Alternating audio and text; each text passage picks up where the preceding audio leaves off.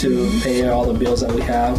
I'm at the point where I could lose my house. How are people supposed to do this? How are people supposed to survive? The richer are getting richer and the middle class is getting poorer. So many of the headlines these days seem to be about income inequality. A huge gap in this country between the middle class and the richest people. The wealthiest 1% of Get Americans. ready to dig a little deeper into your wallet this From 1979 to 2007, the income of the top 1% increased by 275%. For the rest of us, it was just 29%. But the real problem is that as prices of everyday household items go up, many people can't even afford the things that they need to live. Finances are a big issue. How do I pay for groceries? Gas is $4 a gallon. The price of bananas has gone up. The price of apples, bread. We're still making less, but the prices of everything are skyrocketing. I tried to refinance my home so I could keep my house. And I was told I, I didn't make enough money. The place where middle class people's wealth resides, their home, continuing to fall, while the place where the wealth for the top resides, which is in the stock market, hard assets, the global economy, the ability to invest internationally, that's all been booming. How can you not make enough money?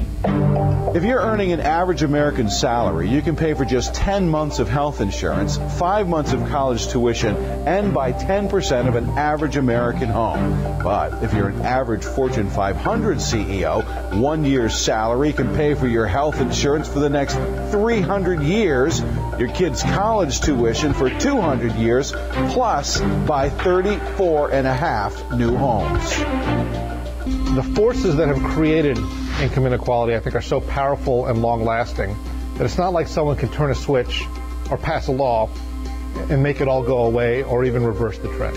These are very powerful forces. The rich are going to be rich. You want to fix that? Get rid of the loopholes. Fix the tax code. I even went down to the Occupy Wall Street thing last weekend just to see does our country have the guts to, to go through the change that it's going to require to have change.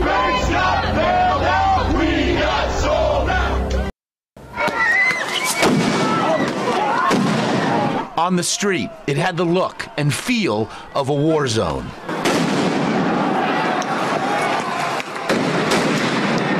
Police firing stun grenades, beanbag projectiles, and rubber bullets, tear gas flying. From the air, panic. The crowd seen here dispersing in seconds, running for cover. All the result of a day long encroachment by police who moved in in the early morning, dismantling the protesters' tent city. But the protesters returned, trying to take back the plaza that had been theirs for more than two weeks. taking away people's right to peacefully assemble in this country. You know, this is really outrageous. Also, overnight, arrests in Atlanta with protesters defying orders to vacate a city park. This scene ended peacefully, but in Oakland,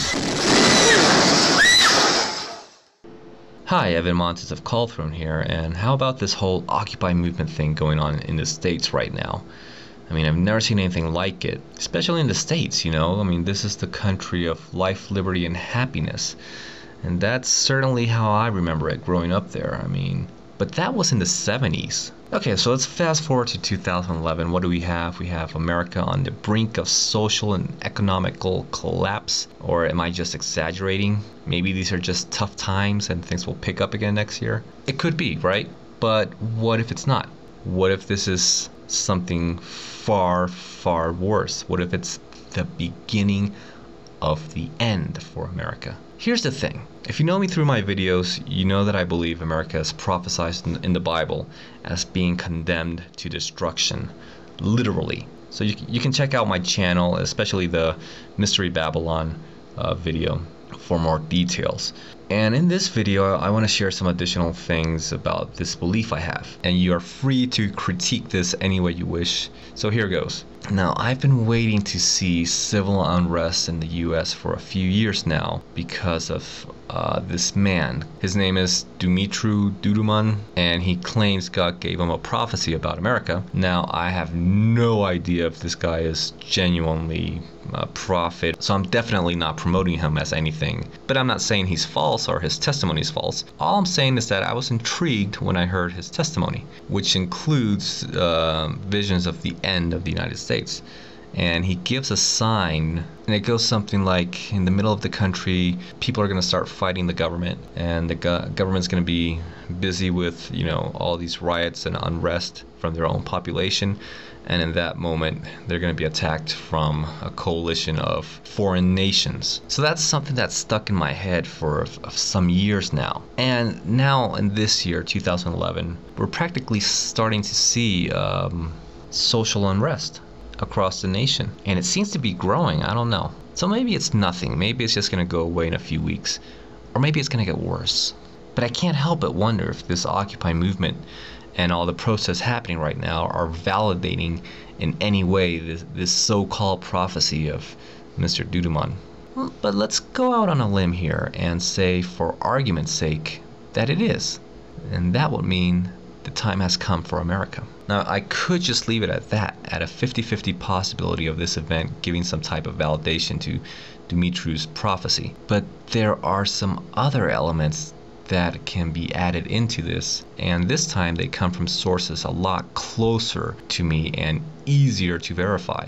I'm talking about myself. Now, am I saying I'm a prophet? Absolutely not. I am not a prophet. However, as your average Christian, I do receive dreams and visions from time to time from God, as all Christians do or should.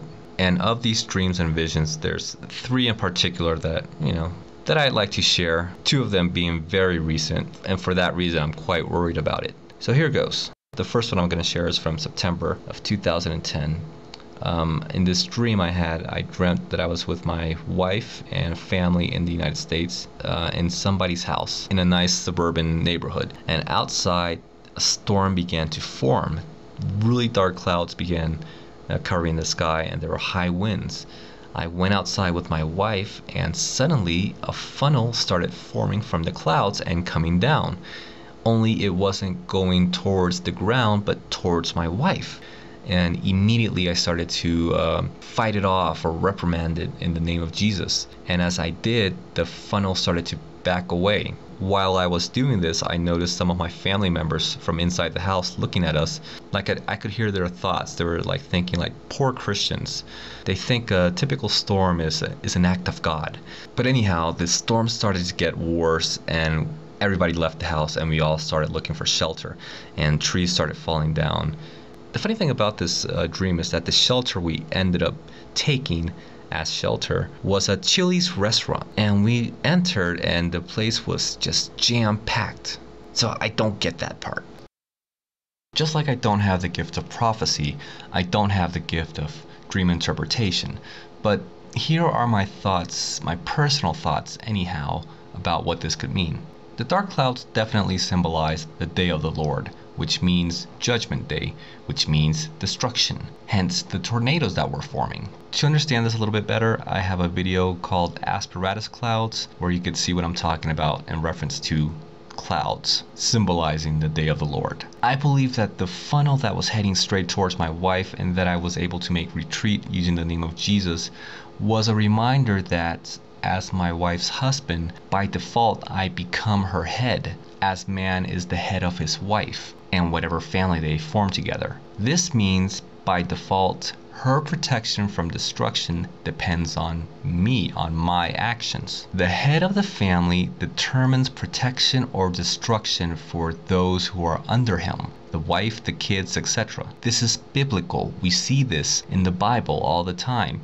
For those who practice righteousness, there is protection for him and all the household. We see this in the case of Noah, whose righteousness provided coverage for his wife and his children and their wives, all who got a free ticket on the ark because of a single person Noah. Or we see the case with Lot, whose entire family was saved from the destruction of Sodom and Gomorrah. But in the same way that one man's action determines protection for his family, his actions can also determine destruction for his family. We see that in the case of Achan in Joshua chapter 7, who because of his sin his entire family was destroyed. Or Job, even. When God temporarily lifted the protection from him, the first thing that happened was all his kids died. So I personally believe that my action of uh, fighting off the, the tornado in the name of Jesus to protect my wife is God telling me, hey, remember, you are the head, be responsible, be obedient so that I can protect her through you.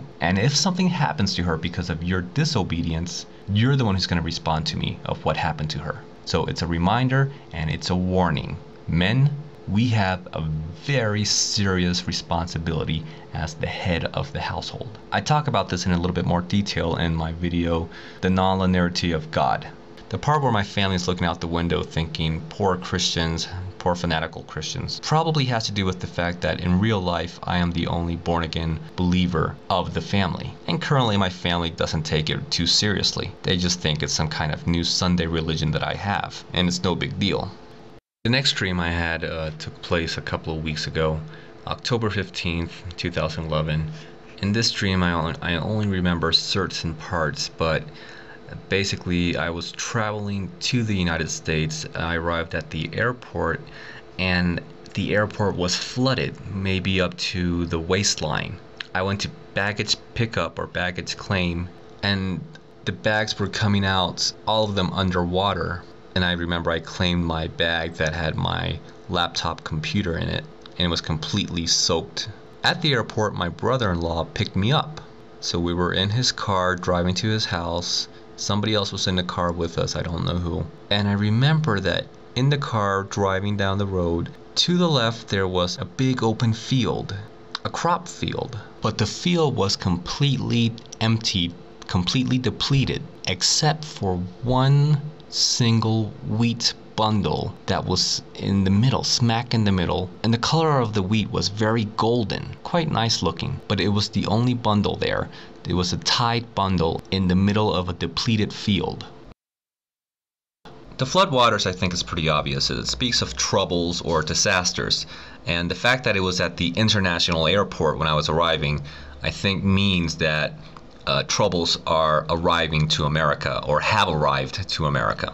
As for my brother in law picking me up, I really don't know what that symbolizes. One thing that is unique about my brother in law is, is, that he probably listens to me with the most interest. I have some family members who show some interest in my faith when I talk to them about it or show my videos to them, but my brother in law probably shows more interest than anybody else when I speak about these things. So there might be some connection there, some reason there for him being in my dream. The empty crop field with that single bundle of wheat in the middle reminds me a lot of how wheat is used throughout the Bible to symbolize the righteous believers. Jesus used the wheat symbology in some of his parables about how there's going to come a time when he's going to harvest his field. He's going to gather the good wheat and the bad tars. He's going to throw the tars in the fire, but he's going to store the wheat in the barn. And the fact that there's only one bundle left, I believe, is saying the time of the harvest is here. He, he's, he's, he's already collecting. There's one bundle left to gather, and that's it. So we are at the 11th hour, basically.